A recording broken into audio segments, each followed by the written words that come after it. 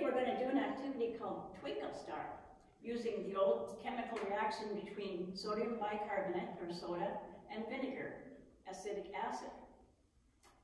You start out by gathering up cake pan, some aluminum foil, vinegar, soda, food coloring if you have it, or paint, and some glitter if you have it. Tear off a piece of aluminum foil and fold it in half. Fold it in half again. And you want to fold it in half this way. This one comes back toward you. And this one comes back toward you.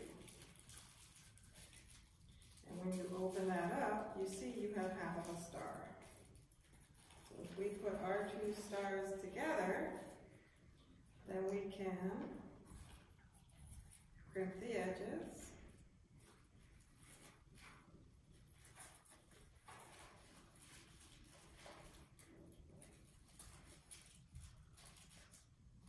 And then we have a star. Shape it in the pan so you get more of a star shape.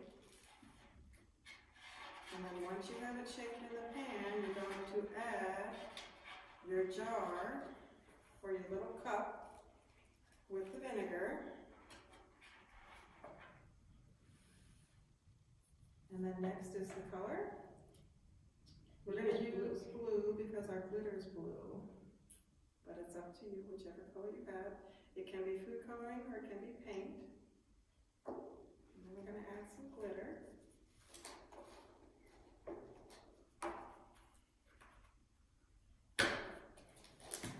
Okay, now what makes it become twinkling is the reaction between the baking soda and the vinegar.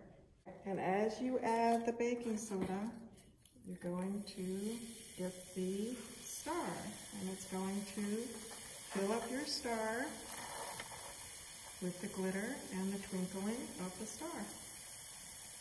It's a star is born. And when it gets done fizzing, you can add a little bit more soda and you'll get the reaction a second time.